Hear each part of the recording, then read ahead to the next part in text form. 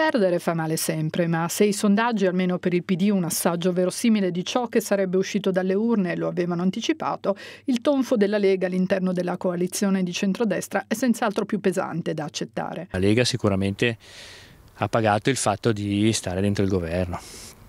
Questo è un, è, una, è un, elemento che già eh, conoscevamo e che sapevamo, un rischio eh, che sapevamo essere, essere presenti, eh, però è stata fatta questa scelta di prendersi delle responsabilità anche eh, contro l'interesse eh, partitico personale. La disfatta della Lega è stata pesantissima in tutta la provincia di Sondrio, soprattutto in Alta Valle. Difficile non collegarla ai malumori legati alla sanità. Sono convinto che eh, quello che è stato fatto eh, sia a livello di regione sia a livello di Lega locale sia sempre stato fatto eh, per il bene della gente e nell'interesse generale di tutto il, il complesso della, della, sanità provinciale.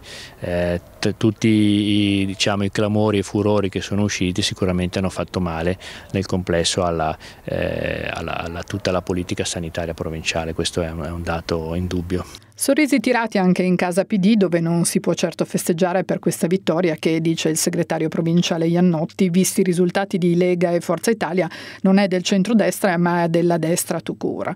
Merito anche di un astensionismo importante, 5 milioni di non votanti la dicono lunga sulla distanza tra politica e cittadini e del meccanismo elettorale, ma anche di innegabili sbagli che non si possono certo attribuire ad altri. Il dato nazionale è in linea con il dato del 2018, eh, quindi voglio dire, non, non, abbiamo perso voti, non abbiamo guadagnato. Chiaramente ci aspettavamo un risultato maggiore, questo è, è indubbio. Questa legge elettorale con un quarto di, eh, di, seggi che vengono attribuiti con il meccanismo dell'uninominale presuppone il fatto che ci siano alleanze più larghe possibili. Eh, il centrodestra è stato in grado di farlo, noi purtroppo non siamo stati in grado di, di, di farlo, quindi ci troviamo in una situazione in cui il dato elettorale è chiaro che ci, eh, ci penalizza. Dopo il responso impietoso delle urne, tanto per la Lega quanto per il PD, si tratta di correggere il tiro e di rimettersi a lavorare. Ha vinto la destra, quindi la destra da, eh, da domani governerà, spero che lo faccia il più presto possibile perché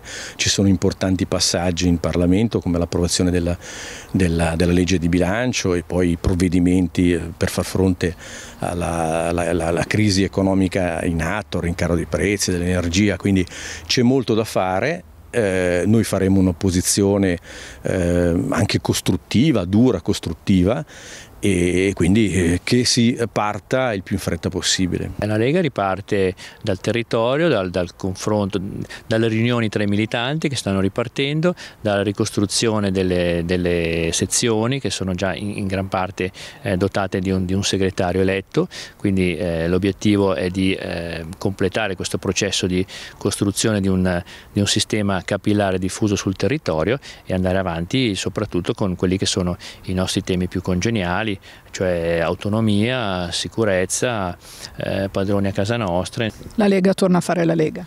La Lega deve tornare a fare la Lega e quando la Lega fa la Lega non ce n'è per nessuno. Prossimo appuntamento, le elezioni regionali. Dobbiamo metterci insieme, insomma, la, la, le elezioni regionali sono, elezio, sono elezioni eh, dove si vince, primo, si vince, e si perde al primo turno eh, con un voto, quindi è evidente che sulla, sulle nazionali non siamo riusciti a, a metterci insieme, soprattutto sull'uninominale. Qui eh, dobbiamo riuscire a tutti i costi se vogliamo vincere